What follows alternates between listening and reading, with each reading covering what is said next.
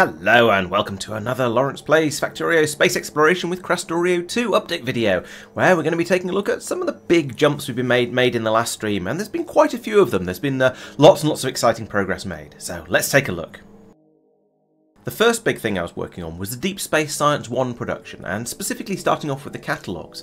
And I got most of this built up in the last stream, so you'll have seen a lot of this before. We've got, uh, along here, we've got the um, the nanomaterials being made, and then we've got the four different types of data cards, uh, well, the three different types of data cards that aren't being made somewhere off planet, being made boom, boom, boom, down here, including this one, which is, this, this is the difficult one. And this one's been struggling due to a lack of crystals. But as you can see by this little trickle on the belt over here, we've had some come in finally, and I think we should be due a train any minute now that'll bring, bring some more over, and we can start making them. And once we've got those, that then allows us to start making the uh, catalogs up here with the new research servers. I've got so I've got all of the all the data cards here now, and everything everything should be working. And there we go. There's the train with the crystals, so that can unload. We've got them, them coming around here, and if we skip forward a little bit in time, you can see them being fed into these machines down here. So now these will kick in, these will start working, and these make the fourth data card type that are required. I still haven't really had a reliable enough supply of absolutely both everything, including both types of Naquium, to be able to say, well, we've got enough of all of the things that we need now, and I've got enough machines. But I did go in and put in I put in a couple of extra machines down here because that one was struggling. Um, and I haven't, but I haven't top, topped up any of the other ones yet because, as I say, we've not really been able to see the, see the, see the balance point yet. But once they're running, they're coming up here, as you can see. They'll be fed into the into the machines, and we can then start to make the uh, the catalogs like this. And as they get produced, they'll then be passed out with these red inserters and dropped onto the belt, uh, much like this. There we go, where they can then trundle all the way down the belt and be put into, into, into a train system down here. So we've got the normal train system set. Actually, we, ha we haven't got the normal train system quite finished yet. I need to put the limits on the on these belts to tell them to not load these warehouses up above uh, beyond about 500 because more than that is excessive. But then these uh, these can then uh, be loaded in, into the train here. We've got these uh, loads up. Well, one one one doing uh, Deep Space Science Catalog one, and the other three doing Dead Trees. But eventually, once we have um, enough, once we have all of the sciences in, we'll, we'll I'll change the filters on these so they'll be doing one, two, three, and four. So that works nicely. Then I put in an additional train that goes from here and tra tra travels all the way across the factory to up here in the science area, where at the moment it seems to be stopped up here and has, has been unloading, and for some reason hasn't been told to clear off again. I'm not quite sure why not. Uh, you should be saying when when do you, well, so here we go. Uh, yeah, that's being passed to here, which is then being sent to train. Okay. Why are you still here? You should have a circuit condition D equals 1 there. So, right, so we've got this this this thing here is outputting 1D as we'd expect because it's it's watching Right, this is working in the same way as all of the other um, trains that working do, do the same sort of, they bring the catalogues over in the same way. We're subtracting one from the total content of whatever catalog, whatever things it's supposed to bring in. And that means that whenever we run out completely of any one type of catalogue in the warehouse here, it'll then pass the signal at minus one over onto here. This is looking for anything being less than zero and then outputting 1D, which is then being passed to this, uh, this, this station, which should then pass it onto the train um, and then the train should depart. So I'm a little bit puzzled as to why the train is not leaving, given that we've got a circuit condition here, and that is how you do that, isn't it? That all seems to be correct, so I'm not quite sure why that hasn't ticked over yet. But there's a distinct shortage of everything else that it needs at the moment anyway, so I'm not going to worry about that too much. But this is, has also been, I've also gone in here and I've set it up to, to stock up with uh, only one row of deep space catalogues, and we put row, uh, type 2 here, type 3, type 4. And so, from here, this, this brings us over to the next big thing I've been doing, which is setting up the whole deep space science production facility. And so, like all the other ones, down here we've got bio and material and energy and astro. They bring in the diff various different types of catalogues. Those are fed over. Now, we don't need to make insights for these ones. There's no such thing as a deep space science insight, so we don't have to worry about those. But we still have the same sort of thing where you bring in a catalogue, uh, not an insight, a significant data and an exotic material, and then those go into the machines here and then are made into the science packs. So it works in a very, very similar way. But one big difference is that you have to use the advanced research servers for this one rather than the, the, the normal generic boring research servers. And so they're a bit bigger, um, they've got a few more inputs, but basically it's, it's the same general idea. The other big difference is I said you don't need to put insights in for these ones, and that is true, but instead of insights, you have to put in neural gel, advanced neural gel, and that had to be produced somewhere else in, in decent enough quantities and brought over here. And we'll look at that in a bit more detail in a few minutes. But over here, you can see I've got the uh, the final machines here. Uh, as usual, I've done the, the setup in, for, for the future ones as well. So we've got over here, we're making Deep Space Science 1, then these will make Deep Space Science 2, 3, and 4 going across here.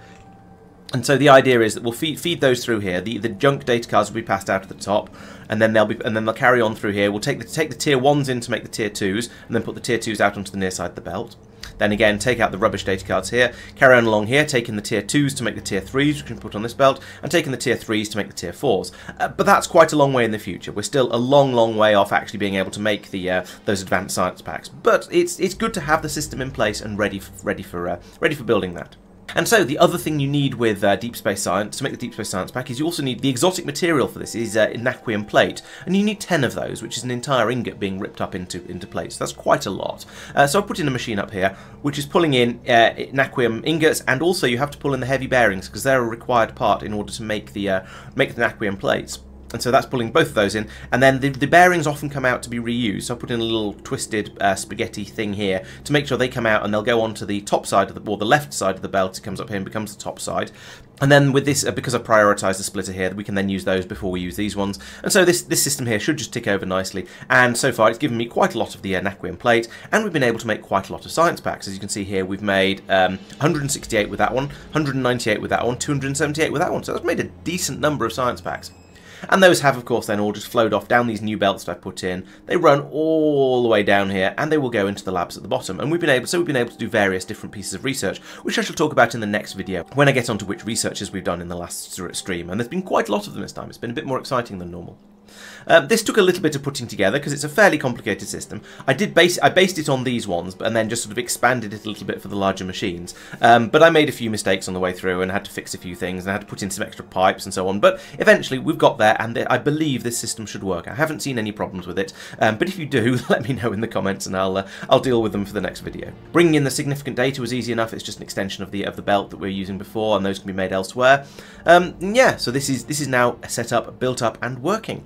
To get all the bits and pieces in, I had to put in some new stations over here. So we've got one here for the uh, the Naquium ingots that are being brought over just from the spaceport, so that's really easy. We've got the catalogues being brought in here, as I discussed earlier, and I've started bringing in the advanced neural gel, and that was a little bit fiddly, um, because it turns out that we, did, we didn't have anywhere feeding advanced neural gel onto the train system yet, but that part was okay. I just came over here. So this is this is Marc's biological science, or biological science catalogue production area, and it's doing all of the, the weird squishy stuff, like making pots of goo and then doing various weird and strange things to them. And down here he's got a huge series of stations that are bringing in all of the inputs he needs for the various different um, different bits and pieces that are required for that. And I've put in an additional station right up at the top here that is collecting the advanced neural gel. As you can see, there's only 62,000 in here at the moment because it's being produced quite slowly. Uh, we have filled the train up though and sent another train off, so there's enough. There's, it's producing it fast enough, but it is still not amazingly quick. And when I came along here, it wasn't fast enough at all. So over here, we had one of these machines that was making it. So I thought, okay, that's not making it fast enough. I'll put in a second one over here, and I'll put a speed module, a speed beacon on them as well to make it even, even faster. And entertainingly, that means we're now producing the plague rockets at a very, very high rate of speed because we can do that at plus 300% speed. Uh, but we've got 26 of them already, and that's more than enough for our purposes. So we probably won't be making any more of them. But anyway, yes, I put this together, and very quickly I realised that there wasn't remotely enough neural gel available, and it looks like we actually don't have we don't have enough um, of this one, the the other input, the other pink goopy input, uh, which is nutrient gel. So we're short of both of those for this one, uh, which is a little bit awkward. But anyway, we can we can can in theory at least pull those in and then produce produce the neural gel, which goes out in these pipes. Um, but yeah, as I say, there wasn't enough of the neural gel, so I went came down here a bit and found okay, here is here is neural gel production, and there were three machines here at the time making it, and that was woefully inadequate, as you can see. So I've, I've, put in put in a few more of these, uh, but they seem to have stopped. They've run out of yes, they've run out of nutrient gel as well. So that's the next problem in the in the in the chain.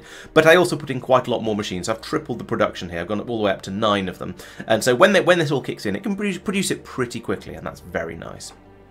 However, that very quickly ran through all of these biosamples that we have got along here, um, and we ran out of those. So I then sort of went tracing it back along the along the along the belts, as you do in Factorio. This is what the game is basically about. Traced it all the way back to here, which is where the biosamples are being made, and they're being made from these pots of uh, green goo that are brought round here and then and upgraded to the uh, to, to, biosamples.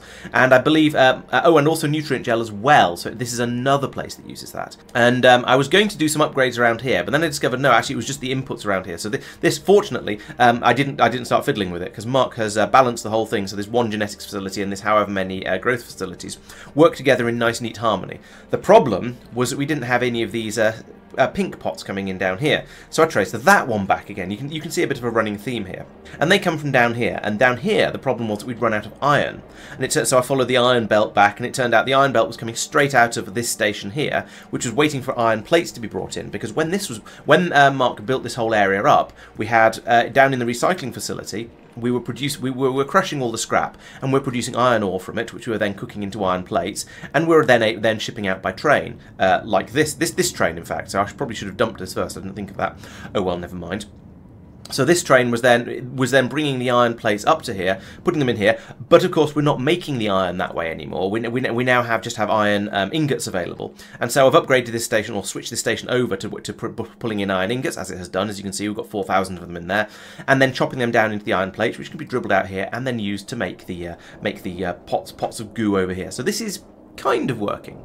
Um, but as I say, the, the problem does seem to be that we don't have enough nutrient gel. So let's carry on following that one back. Is that made further down? I can see the pipe going further down. Uh, yes, here we down here we're making the nutrient gel, and to be honest, this seems to be running okay. I don't know. I don't know what the problem is. All of the no, actually, not all the machines are running. There's a bit of a shortage of something. Um, we don't, okay, we don't have fertilizer coming in quickly enough. Uh, despite the fact that we have here, yes, as you can see, we have a complete full space belt of fertilizer pouring in here. Uh, it's just, that is apparently not enough, so we need to have that coming in a bit quicker if we want to keep up with the, uh, with the nutrient gel and I had a bit of a, a discussion with this because it, it turned out, um, that, yeah, the new, the uh, fertilizer is pouring out of the station over here. Fine, we've got a decent supply of it, um, but it was it was struggling to keep up, and it turns out that was because, um, well, it was coming in through, through through the train system, and there was it was being brought up over here using this system, and so you can see here there is there's quite a lot of demand for fertilizer. There's quite a lot of it pouring through because the train has just been up and dropped some off. So that's being brought over here to the to the train systems over here, and we'll be ready, and then we're filling this train up, ready to, ready to take it over when we need some more. Um, I accused uh, Mike of having produced a silly system over here because it, I, I thought it was bottlenecked because there is one train that comes up and parks here that will then unload everything that's required by all of these different supply systems across here. And I thought that the train was running basically solidly and um, and therefore not able to bring up enough fertilizer to keep the biological systems happy.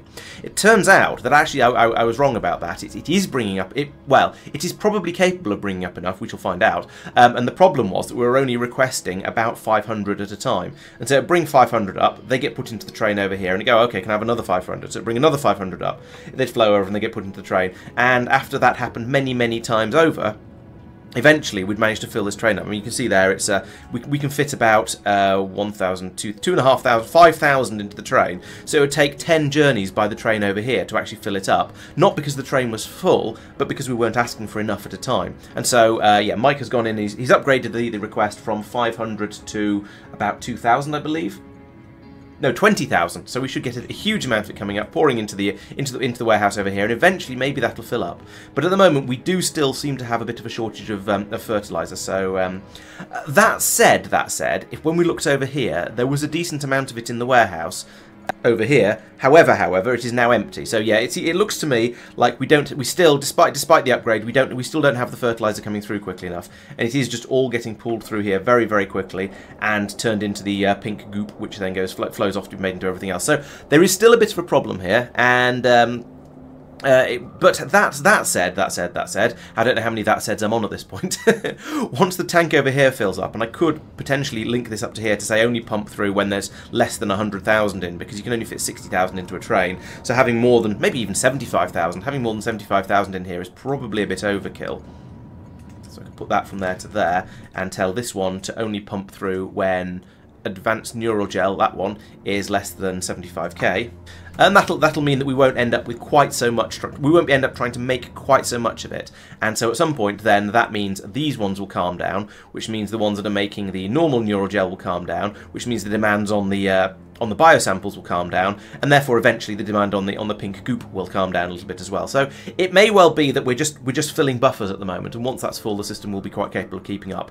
Um, but we did have a bit of a rush on it, and it caused caused a few issues. I did also increase the pressure on the uh, cosmic water over here. So cosmic water is, is, a bit of a weird one. So um, Marc had got it set up so the train would unload here as long as, and, and, and these would never be more than about 30,000 each or so, whatever, um, because we wouldn't call a train out until it had dropped below uh, 1,000 over here. So that was sort of kind of fine.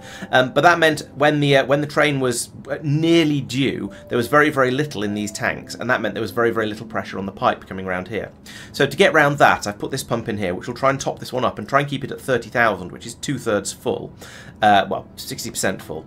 And so that means that then we have a decent amount of pressure on here because all these pipes are at about 60%. But there is still room for the, for the machines that output the cosmic water because Marc has a, uh, a scrap recycling facility over here which cleans up the dirty, contaminated cosmic water and turns it back into clean cosmic water. So there is going to be a little bit of back pressure and this producing some and pushing it back into the system like this. Uh, so we need to always have some header space in this tank, which is why I've set that to not completely fill it up. But having it at 60% means we do then have a decent amount of pressure on here, which means the cosmic water can then flow out to wherever it's needed and, run, and all the systems will run. So we, we were having a bit of a problem somewhere, I think it might have been over here, where the pipes were virtually empty, and that meant as soon as the machine started trying to slurp it through, it would empty it, and then it would take a little while for it to flow through. We had very, very low flow rates, and this should help quite a lot with that. And so at this point, I'd kind of got Deep Space Science 1 working. We were, okay, there was a bit of a shortage of the crystals, there are a few things that were running a bit slower than I would like them to, and it needs a bit of balancing and tweaking and so on. But essentially, we've got the, the uh, Deep Space Science Catalogue 1s being made, we've got the Science Pack 1s being made. It's working, um, and it just needs sort of a bit of massaging of some of the numbers. Uh, so I started to take a bit of a look at the uh, broad Deep Space Science Catalogue, also known as Deep Space Science 2. Um, and this one seems, it doesn't seem too bad. We're going to need to bring in some cryonite, which is a thing we can, that's, that's trivial, we can just get a train to do that. We're going to need annihilation data, which needs particle stream and antimatter stream. Okay, well we have the pink clouds already, that's fine, they're in this pipe that runs down the middle of here. And the antimatter stream isn't too difficult to make. We just need particle stream and uh, and thermofluid um, and do it in a in a material fabricator. We'll probably end up doing that in cloud storage just to have have everything in the same place and then ship it over by train. But then we'll have antimatter stream and that'll be nice and easy. So that'll allow us to make the annihilation data. Then there's hyperlattice data. So that requires nanomaterials, which we've got. It requires a lot of naquium plate. That's almost two and a half ingots per uh, per science pack. So that's going to be that's going to be tricky. But man, but man, there's nothing new and difficult in there. Then we have singularity data. Okay, so that, that requires entanglement data, which means I'm going to have to bring that over from the energy science area in, in, in a train, so I'll need to put that in. That's not too much of a problem. It also requires naquium cubes. Uh, now, naquium cubes are made from nanomaterial, vulcanite block, naquium plate, and particle stream. So got, again, these are all things that we have here. So this isn't going to be too difficult either. We can bring in all, we've got all these things together. The problem is that, again, this is 12 naquium plates, so 1.2 uh, ingots per, uh, per cube we make and we're going to rip through these cubes. Well, one per one per 50% chance of getting a science pack. Oh, we do have a 50% chance of getting a cube back. So it's about so one cube per science pack. So that's uh, slightly more expensive than the, the, ones we've done so far, but not enormously so. Then we need the time-space anomaly data, which also requires an Naquium cube, and this one you don't get back if the if it fails, and there's only a 60% chance of it succeeding. Um, and it also then requires a load of the astroscience cards as well. So I'm going to have to bring those over here. And the, the odds of these all being close together over where, where they're being made in Astro is pretty small. So it's going to be a bit of spaghetti to pull all of these through the um, through the belt system and try and get them all into the same place so I can shove them in a train together and bring them over here. But this sort of thing isn't completely new to me. I had to do something very, very similar with the um, when I was doing putting the matter science together and we needed to bring in these two uh, material science cards. So over on the way over there in, in material science, I've got a train system where we're pulling in those two types of data cards here like this. They're getting put into a warehouse, then loaded into a train that comes over here whenever it needs them, and and that works. It's it's not been too difficult to put together. I'm uh, so yeah. I, I, think I think I should be fine with this. It's not going to it's not going to cause me any trouble putting that together. It's just going to be more more random bits and pieces that need to be need to be pulled in. So not too worried about that. And that's the bottom of the list. So uh, th that that's not too difficult. And then when you've got those, you can then use them to make the Deep Space Science Pack 2s. That also requires Naquium cubes, so we're going to need a decent number of them. But they're, hopefully they won't be too difficult. And so I put together the system down here, which is bringing, which is now making my naquium cubes. So it's bringing in the uh, the ingots here. They're being uh, chopped down into into plates, passed along here into the machines, and as, as ever, we've got the uh, these these belts shouldn't be here. That was from uh, from a mistake I made earlier. Um, so we've got the rollers being brought in here to squash the uh, naquium plates out of the naquium ingots, and then a bypass on the bottom here. And this is this is reasonably clever. Rather, um, because I've got an inserter loading here and a loader loading here.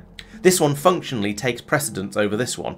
So we'll be, so any of these that come out and to be reused will immediately be sent back into the machine, but will only load in with the inserter if we start to run quite low on them. So this is going to this is going to work quite nicely for making my naquium plates. And as you can see, I've got the um, the nanomaterial being brought down a belt here. I've got the vulcanite being brought in on the belt over here, and put and they're just going straight into the machine here. This is working nicely. As you can see, we've made some cubes. It's not an enormous number of them, and it's not an enormously quick process. But as I discover I need more and more of them, then I can just put more, more and more machines in across here. These are, of course, the material fabricators, the ones that don't take uh, speed modules, so we can't make them any faster, we can't beacon them or anything like that. If we need more of these, we just have to put more and more and more and more and more and more machines in. But we'll we'll wait and see how many we need before we uh, before before I expand this at all. As you can see, they're coming out at a a steady trickle from this machine. That's not that's not too bad. So from looking at these recipes, my impression is that um, that Deep Space Science 1 is all about telling you to go out and, and, obtain Naquium. So you have to go out to your asteroid field, you have to start digging it up, you have to do all the processing of it, and that's a massive undertaking. You've seen how long it took me to get to get to get to this stage, to get all of that up and running. And then Deep Space Science 2 is not so much about making things more uh, it's not much more complicated, it just requires a lot more naquium. And so I suspect there's a reasonable chance that we're going to find that the amount we're producing at the moment isn't going to be enough, and that we're going to need to start to dig more of it up, get more of it processed, get speed the whole thing up, or alternatively put up with science being done a little bit more slowly. But we'll wait and see how that goes, because I mean, at the moment, well, it's it's ticking over nicely. We're producing these uh, these uh, cubes as, as we go. We'll see we'll see how the production uh, struggles and whether whether it is actually a problem because you never know. We might find that we've got enough of it. Deep Space Science 3. Well, we're not even going to think about that for a little while because that's going to be extremely complicated, and I think I know what's coming. So uh, I'm just going to keep my mouth shut about that. While I've been messing around with all of that, Marc has been doing some um, some personal gear upgrades for, for all of us, in fact. He's been being very generous about it and setting up decent supply runs for, for everything. And so along here, you can see we're making all of the various different uh, things, to, well, a lot of the various things that go into the suits. So across the top here, we've got the uh, personal laser sniper defences, uh, up all the way, so making the Mark 1s to make the Mark 2s, to make the Mark 3s, to make the Mark 4s, which go into the box here. And then the same thing with the personal laser submachine defences. So these, these ones fire quickly, these ones have longer range and do more damage. Um, I think as damage over time goes, they're pretty much identical, um, but we, you've got either range or fire rate, depending on which, which type of weapon you go for. And again, so we're making the one, two, three, four. And this is something where we are we are building all of these from um, with with logistics bots, which is a little bit dirty, but to be honest, I don't think I care too much. Uh, it, it, it's worth doing because it makes it makes the whole construction nice and simple around here. And they are they are all telescopic recipes, so you, in order to make the Mark II, you need the Mark 1, in order to make the Mark 3, you need the Mark 2s, and so on all the way up there.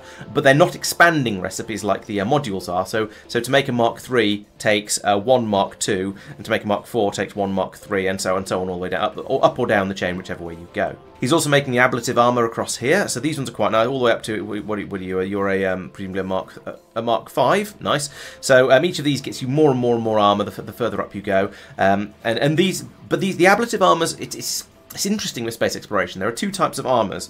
Um, you can either make the um, the ablative armors, these ones, which is what we're, doing at the moment, or you can make the shields. And the shields are much, much more, much, much stronger. They defend you much better. So you can see there, you get a thousand hit points from a Mark IV energy shield, but from a Mark V uh, ad, ad, adaptive, oh, adaptive, not ablative, sorry, adaptive armor, you only get 500 hit points. However, the energy shield is not compatible with the jetpack. So if you've got an energy shield on, it will take damage whenever you're flying. So that makes it more or less useless in, uh, in space exploration because you tend to spend all of your time fl flitting around with your jetpack. So we haven't been making these, we've been using these ones. However, because these are much, much tougher, if you're going into a pyramid, then I think having the energy shields could be quite useful. So we might start making these ones as well. Uh, we, we, shall, we shall see. Then over at the side here, we're upgrading the the, the suits. So because we've all already got um, spacesuits, and I think they're being made on the ground as well, so the Mark 1 thruster suits, we've only got the Mark 2s and the Mark 3s being made here. So if you want one, you have to come along here, stand next to it, take your clothes off, shove them in the box, and then sit there shivering and trying not to asphyxiate while it makes while it builds your more advanced spacesuit and, and then spits it out into this box over here. Then you can grab it and put it back on again and start loading it up with all of your all, all of the fun toys. And so I did exactly that. I now have a, uh, a Mark III spacesuit on, and that has allowed me to fit a load more stuff into it. So, I, to be honest, I just grabbed a load of stuff without really thinking about it. I've I kept the um, the jetpacks that I had in my previous suit and the portable RTG that I had, uh, and I grabbed a load of guns and, and defences as well, so I can go out and do little bits of combat should I feel the urge. But at the moment, I'm kind of it's, it's a bit imbalanced because I've only got this Mark 1 battery. Uh, it's a big personal battery, but it is still a Mark 1 big personal battery, which isn't very good, and only an RTG generator. So between them, uh, they're, then they'll, they're going to struggle to power all of this stuff for more than sort of a, a split second. Uh, it's fine with all the jetpacks, but the weapons are going to rip through my battery very, very quickly. Um, because it's a tiny, tiny battery. So, at some point, I need to upgrade to this, the portable fusion reactor, which Marc has also built over here. So there's, there's, there's several, there's, a, there's a steady supply of them being made available here. But these use fuel, unlike the one I'm using at the moment. So I think when, when if and when I do go off to do combat, I shall rejig all of the stuff in my suit and upgrade and, and switch over to the the ones that consume fuel but produce a lot more power. Because just for robots, the, what the one I've got at the moment is absolutely fine. The other part of the upgrade is down here, and this is where Marc's been making all the other stuff for suits, the stuff that can be made down on the ground or is made from sort of ground level type stuff. And so over here we've got these massive um, batteries. What are you? You're a tier 3 um, battery pack, so having a couple of those in my suit would allow it to last, make things run a bit longer. We've got the fuel cells for the uh, for the for the fusion reactor being made down here. So in this in this box we have the um, we have a decent number of DT fuel cells. So those get, those can be chucked into the uh, into the fusion reactors. Uh, we've got goodness knows what else down here. Um, what what even are you? Oh, you, that's electric engines for over here. That's okay. And here we're making what are we making here? We're making heavy water. Okay, um, sure, why not? Uh, for the for the fuel cells again, and we're also making upgraded roboports and jetpacks as well. So I think a trip to the ground might be in order at some point where I can pick up some of this stuff. I, I, filling my suit up with jetpack threes instead of jetpack twos and with the occasional one would be, would be rather nice and it'd mean I'd be able to fly around a bit quicker. Um, not that I do a huge amount of stuff manually, but it would be nice to have my have everything all the, all my toys upgraded to the latest versions. Basically, that'd be rather nice. But that's not all that Marc has been doing. Um, in the last stream, and um, perhaps a little bit because they were running out of things to do, perhaps, um, because I've been because I'm doing the deep space science. So this thing in mid-game space exploration. There are the four different uh, types of science you can be doing. You can be in astro, material, bio, and energy.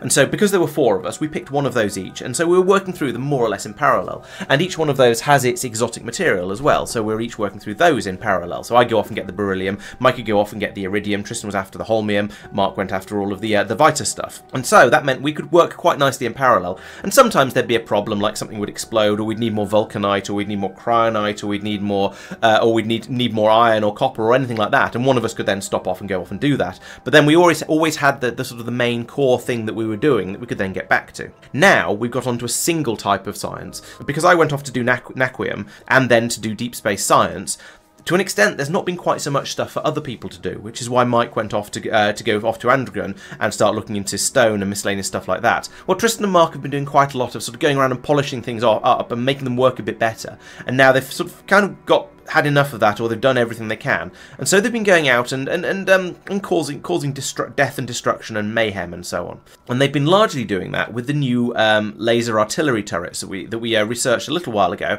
and have now started to make. So these things have a ludicrous range. If I turn the range on up there, you can see they've got yeah, hell of a range. So the, all these biters here, for example, would be dead. Yeah, they've all been wiped out because they're within range.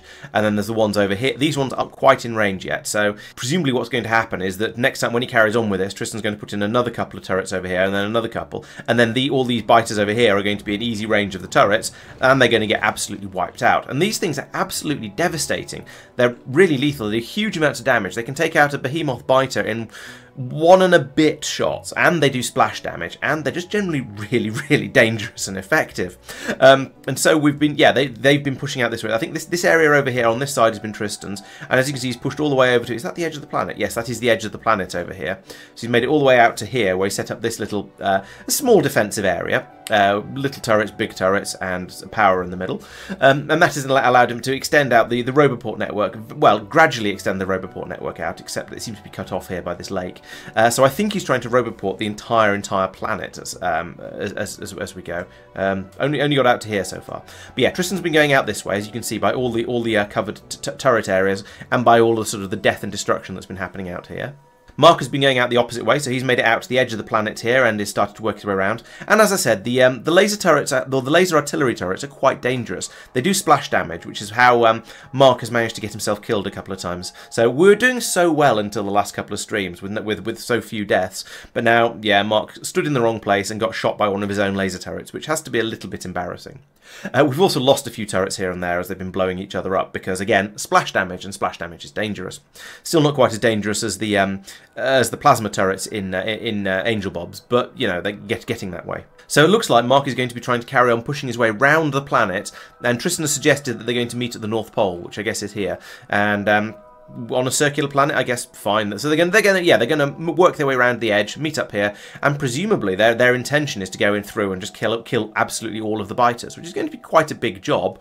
But you know, it'll keep them out of trouble for a little while, I suppose, and give them something to do while while other sciences are happening. We shall see how long they they find it fun for before they get get a bit fed up and decide they want to go off and do something a bit more Factorio-y. There's um as uh, Mike can probably testify, there's only so much time you can spend doing combat before you just yearn for a salad or a sa or something else. So just something else to do. There's a slight difference in approach on, on these two. So uh, Marc has very much cleared out a corridor out this way and then started to work up up along here there's every, everything is dead across here as well, and I'm not quite sure why. Maybe that's maybe that's from the nuclear artillery. It could well be. I'm not sure what what's the range on that. Let's have a look. Okay, in manual mode, there's only actually no that I don't know what's killed all these biters in here um, because there's no there's no artillery cannons in range unless there were some that have been removed. I, I, don't I don't know. I'm not quite sure why all these biters are dead. Oh, maybe that's from the, the beams because we've we've still got the glaive beams wandering around the planet like uh, like this, also doing damage to the biters. So it's it's really a def it's definitely a many many prong attack on them, and they're um, and they're certainly suffering from it. But we don't want to use a plague rocket on Nauvis because it seems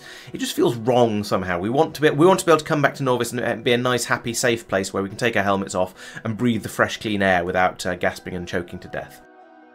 So as I said, having um, other people doing the, uh, the, the, concentrating on the science at the moment has meant that there's been time for Tristan and Marc to be working on little little problems scattered around the base and, and fixing those up. And Tristan noticed that one of the signals that was being passed around the uh, passed around the facility had some um, science packs on it, and when when it shouldn't have done. And so he's gone off and he found those and he put them back into the system, uh, back into the system so they can be burnt up and used as science. So that that's good. He's also tidied up the uh, requester chests that were across here that were pulling in various different um, science packs in order to dump them into the into the into the lab here for us to uh, churn through them while we were well, um, and just get get rid of them so they weren't so weren't clogging the place up a bit. And I think he might have, yes, it was, it was along here. that There are additional chests here that are unloading the uh, any excess uh, tier 1 or tier 2 um, energy sciences, and presumably over here somewhere tier 3 and tier 4, but I, although I can't see them, maybe I didn't, maybe I just didn't, straight up didn't leave room for them. Uh, I don't think I did. And presumably so, so, so similar for, for other sciences as well. So in theory, if anything gets demolished, so some science packs end up in the in the uh, robo network, they will be brought out to these blue chests and put back into the system, so they're not just sitting around being wasted. So that's nice to have. There was a problem with making the mirrors over here, which was da simply down to there not being enough glass being brought up. So he's increased the, I mean, increased the amount we're requesting. So now the train will bring up more each time it comes. Um, despite that, we seem to still have. Oh no, we haven't run out of glass. There's plenty of plenty of it down here. I was looking. It's um, this one, biofuel, something fuel that we've run out of. I'm not quite sure what that's even needed for. It doesn't seem to be going anywhere though. So I don't know. I'm not quite sure why that's there at all. Down on Kothar, Mike informs me that the uh, the mineral water train, this one here, had been set to manual, and he's accusing me of this because it said last monkeyed with by me. Um, I'm not sure, I don't remember doing that, I, but I probably had a good reason for it at the time. I'm sure something was very, very broken. But anyway, he's turned it back on again, and that has meant the mineral water has started to flow again, which means in theory the, uh, well, I was going to say in theory the iridium's flowing, but it doesn't, it doesn't actually seem to be. Where's the problem here? Okay, it looks like we've run out of uh, enriched vulcanite again, so that's um, an interesting problem. I wonder where that is. So there's a little bit of it up here, but this train is not remotely full. At the other end, there is no spaceship here. Maybe it's because there's enough of it in, in uh, Norbit at the moment that the ship is having trouble unloading and not leaving. Yes, here we go. So yes, we've actually got completely caught up on Iridium. That's amazing. So this, where, this warehouse is full, this warehouse is full, these two are full, and they're all full of Iridium. That's immense. And so this this one here can't unload, and so this, therefore the spaceship can't leave until it's finished unloading another three and a bit, just over 3,000 um, Iridium. And then once it does that, it's got, yeah, it's got loads of, it's got 12, 24,000 enriched Vulcanite on it, so it'll take all of that over. The train will bring it down. It'll be shipped over and, and, and put in the right place uh, down here. So it'll be brought then brought down, and the system can run again. So yeah, we've stopped making iridium, but it's not because there's a problem on Kothar. It's just because we have enough iridium. Uh, we, we've, we've, we've caught up. That's that's that's fantastic. We do also seem to have quite a lot of train. Well, we, a moment ago we had quite a lot of trains parked on the rails here, but they all seem to have gone now. So I guess that was a maybe it was a, just a transient problem. So I'm not going. I'm not going to complain about that either. Tristan says that a train did run out of uh, fuel somewhere on on on Kothar, which is now sorted out. It was somewhere in the southwest of the main base, but he managed to get some fuel out to it. Probably with that's probably what. No, it's not what this belt is. I don't know what this belt is. Oh, that's that's filters. Um, it was probably with some sort of re really really long belt. That's managed to chuck some more fuel in it, get the train going, and he sorted the problem out. So well done there and down on Nauvis, Marc's cleaned up a couple of mines. So there was an iron mine somewhere around here that's now gone, and there was a stone mine as well that had been de completely depleted and is now. So he's, he's, he's cleared them up. I there's there's no chance of me ever finding those, but it doesn't actually matter. I can just tell you that a couple of mines have been pulled up and removed. So you know, just generally keeping the place tidy so we can uh, we, we can we can build more stuff out there should we need to in the future. But at the moment, things seem to be ticking over quite nicely. We have admittedly stopped making uh, stopped doing science because we're waiting for some more deep space science packs to be made, but um, the system is, yeah, so the system is, is somewhat idle, but it does seem to be working. When it kicks in, when everything's running, we seem to have the stuff that we need. So I'd say things are going well here. And I think oh, that's a nice positive note to end the video on, so I shall uh, say thank you for watching. I'll be back in a couple of days on Monday with the other half of this update, where we shall talk about some of the other things that have been going on, shipping stuff around and other planets and that sort of thing. And also all the exciting new research we've been doing, because there's been quite a lot of it since the uh, in, the, in the last stream. So that's something to look forward to. Make sure you subscribe to the channel so you don't miss out on that. Uh, I'll be back on Tuesday as well with the uh, the next Satisfactory stream where I should be building trains and that. Um, I've, I've, finally researched the monorail, so we're going to be putting some of those in, and that's going to be very exciting because everybody likes trains, especially me. And then, of course, back on Thursday for some more Factorio K2SE streaming uh, where we'll carry on with all the things we've been talking about today. Uh, so, yeah, as I say, make sure you're subscribed. There's always lots happening on the channel. Uh, check out the GTA videos as well because they're fun and all the tutorials and things. Lots and lots of lots and lots of content, lots to see, lots to do, lots to watch. Thank you for watching. I'll see you next time. Bye bye.